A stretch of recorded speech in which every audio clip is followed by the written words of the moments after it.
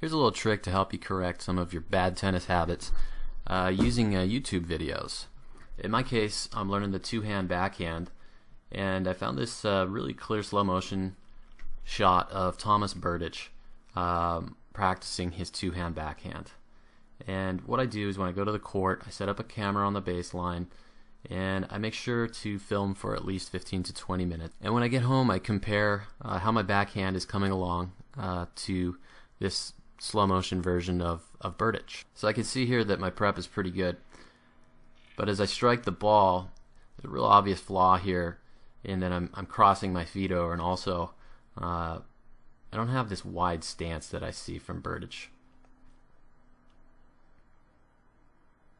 that's not something that I, I can sense out on the court. The balls are going in, everything feels good, but but when I check the video, I can see and compare to Berdych uh, all the things that uh, that I need to fine tune. So uh, it's a lot of fun to uh, watch all the, the videos of the pros that just didn't exist before YouTube. We kind of see the the secrets of their success up here. But if you want to get uh, the full benefit um, of slow motion video analysis, you really got to do a side by side comparison of, of your strokes to uh, to a, a technically perfect stroke.